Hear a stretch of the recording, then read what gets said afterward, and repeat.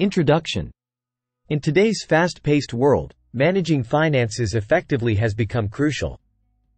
One of the key aspects of financial management is smart shopping, especially when you're on a tight budget. Here are the top 10 tips for smart shopping that can help you save money and make the most out of your budget. 1. Plan your purchases.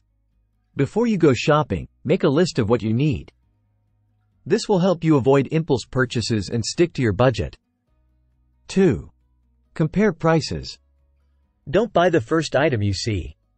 Take the time to compare prices from different stores or online platforms to ensure you're getting the best deal. 3. Buy in bulk. For items that you use regularly, consider buying in bulk. This can often be cheaper than buying individual items. 4.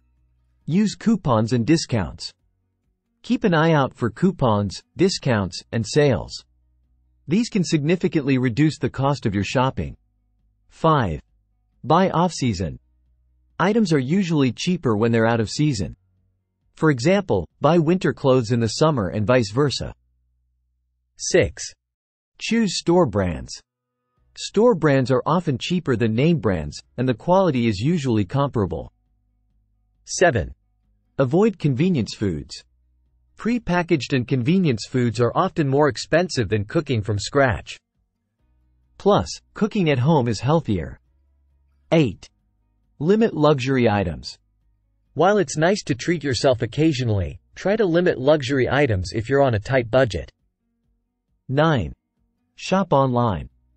Online shopping can often be cheaper than shopping in store, and it allows you to easily compare prices.